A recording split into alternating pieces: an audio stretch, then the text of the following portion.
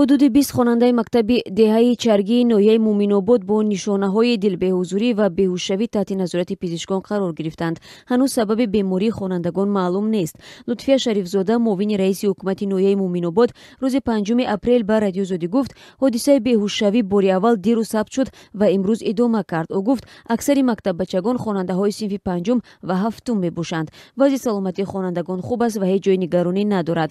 Пизишкон хуни онҳоро барои ташхис гирифтанд ва сабаби сабаби беҳушшавиро дақиқ мекунанд. Овоза карданд ки гӯё заҳролуд шуданд вале ин дақиқ нест. Муҳим ин аст ки саломатии хонандаҳо хуб аст гуфт ӯ.